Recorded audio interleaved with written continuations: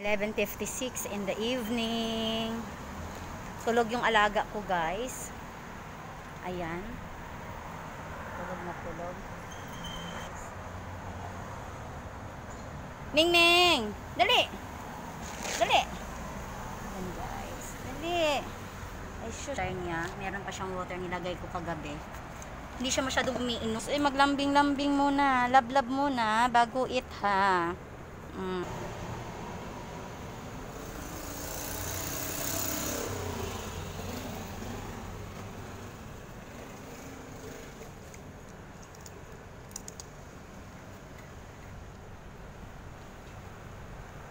Kailangan ko siya gabi-gabi guys pupuntahan kasi ang payat niya.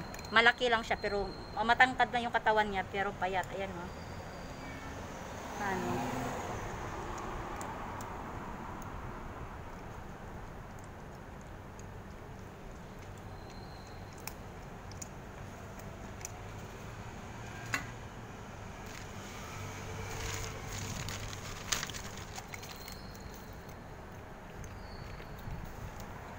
Water mo lang.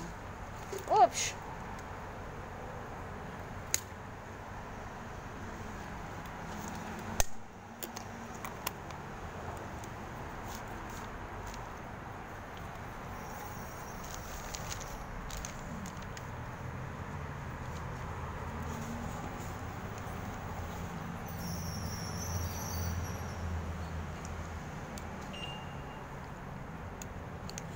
Bye-bye.